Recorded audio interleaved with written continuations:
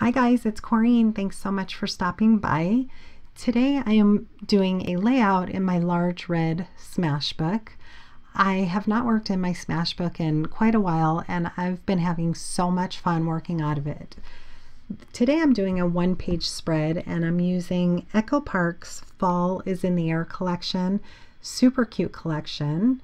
So I'm just going through my book trying to decide which page to do it on because it will leave a little bit of a border so uh, around my paper. So I'm deciding which paper will look best with it. And really the only border is right against the spine there or right against the binding. So I like this darker color. And these inside pages are 13 and a half tall by about 10 wide. But if you um, measure it right from the binding out, it's about nine and three quarters. So being that I don't have paper that's 13 and a half tall, I'm adding two pieces to cover the entire background of the paper. You don't have to do that, but that you want to do that if it doesn't match um, what you're the paper collection that you're working with. So that's what I'm doing here. I wanted a nice little white border. And off screen, I've already kind of decided the layout that I'm doing and I already added my tape backing just to make the uh, video a little bit shorter. So because I don't have 13 and a half paper, I cut that piece to, well, that one's cut to 12 by 9 and 3 quarters. And then I added a second piece that is 9 and 3 quarters by about 3 inches tall. And once I adhered that down and added that pattern paper to the top, you don't even notice that it's two pieces of paper. But then it gives me that little white border that I wanted. So that pattern paper, I added a saying on it and printed on top of the pattern paper. It says, this is real, this is love, this is life, and this is us. I'll give you a closer look at the end of the video of that. It's a really pretty saying that I had found. So I just used a couple different fonts that I had um, that I own and printed that out onto the paper. So here I'm using some art glitter glue and adding this adorable border. I purchased this border from the online silhouette store. And I'm going to adhere down my photo on top of a white mat. The photo I'm using is 4 by 4 and the white mat is 4 and an eighth by 4 and an eighth. And then I'm adding that to a pattern paper that's 4 and a quarter by 4 and a quarter. I love using square photos. I love making square albums as well. So here I've cut out quite a few elements, um, embellishments, and I did back most of them ahead of time just to save time, but here I'm just showing you that I, I back it usually on a piece of cardstock just to give it, to make it a little bit sturdier. So I'm just kind of pulling out all the different embellishments, seeing which one I wanted to use. I knew for a fact I wanted to use this house. This house is also a purchase that I made from the online silhouette store and I colored it with colors that would match the collection. And it's a very whimsical house. It actually cuts out in three different pieces. You can cut it out in one piece, but I liked the whimsical look of it. So I left it just like that. So part of the roof you can kind of see through to the bottom pattern paper, which I thought was cute. I'm using, to glue this down, I'm using Nuvo Deluxe Adhesive, the clear drying craft glue, and it's the first time I'm using it. I purchased it so I could add um, embellishments like maybe flat back pearls or little rhinestones, things like that. But I found that I'm using it with paper as well, and I really like it. It's, I think it's a, a nice size bottle for a good price. So I'm sort of testing that out, but so far I'm really liking that glue. I like to try any type of new type of glues and adhesives.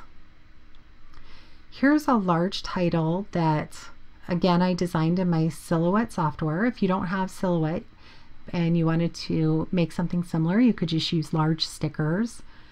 And I gave myself a white border with that really pretty blue on top and I felt like it blended in a little too much against the white hearts. So I simply went back and just gave it a tone on tone and then cut that out again. I still had the design up, so I was able to just quickly change the colors and cut it out. And I like that so much better because it stood out just a little bit more. So I'm just kind of moving things around, deciding where I want this little border to go. Again, that's from the Echo Park Fall is in the Air collection. And this bear was the cutest. I definitely knew I wanted to use that on the layout. So I'm just kind of placing things down, trying to decide what I like.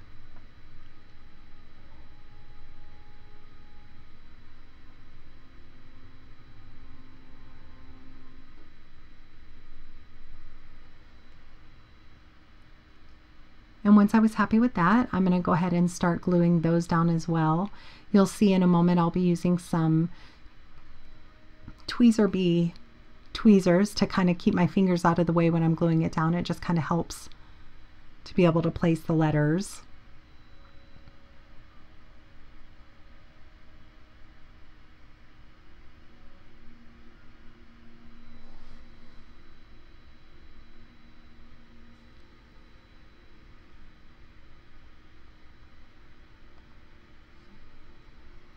And I do go ahead and place on the us, but in a moment here I'll move it because it I couldn't find another place that I wanted to place the bear.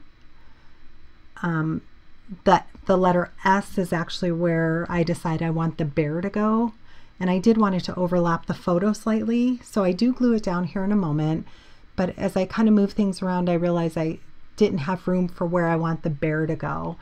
So I simply pull those back up and move them. But first I'm going to add this cute little border.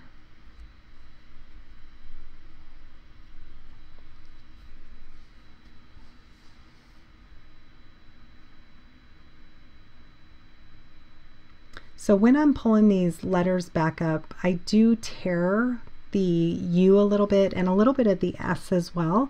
So luckily I had it still on my computer. So I again just cut those out quickly and replace those. I'm just kind of, I knew I was going to replace them here, but I just wanted to set them down for spacing. That's why I didn't add any more glue.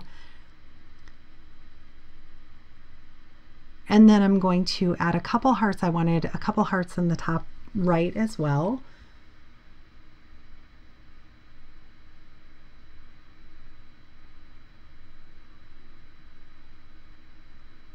And then I also cut one of the framed hearts and I'll add that. So I have a cluster of three right there and it kind of looks continuous.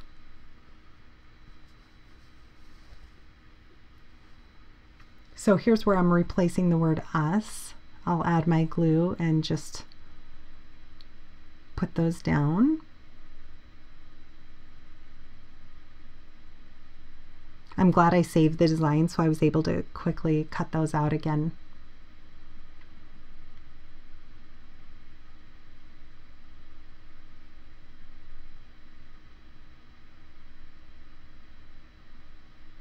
And my favorite is this little bear, so I'm going to go ahead and add them right against the picture. I want it overlapping the picture slightly. Here's also these little heart embellishments. I wanted to add three of them on the page.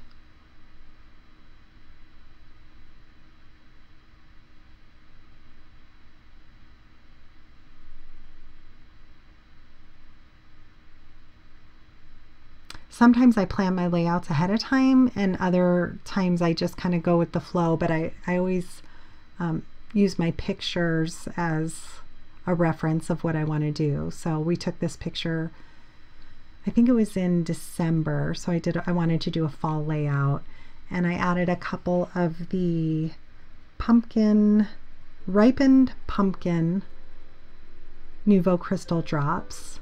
And here's a closer look. So I hope you enjoyed and thanks so much for watching. If you have any questions, please leave me a comment. Have a great day.